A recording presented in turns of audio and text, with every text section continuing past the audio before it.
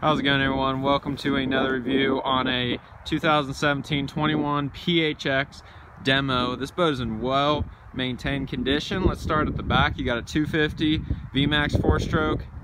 You got two matching eight foot white blades on the back of this boat.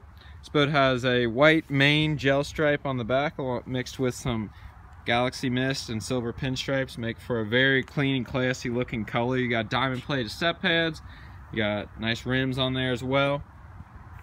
Taking a look at the carpet and the upholstery as well as the overall condition of the fiberglass. It's been very well maintained and so this is like a like new boat but you're still going to get a very good deal on it because it is a demo version. You also got a Helix 12 and a Lowrance HDS 12 mounted there in the dash, so two giant units. So this boat is ready to get out there and be very competitive. Huge wide front deck, and then you got double stacked Helix 12 and a HDS 12 so you get the best of both worlds on your precision sonar.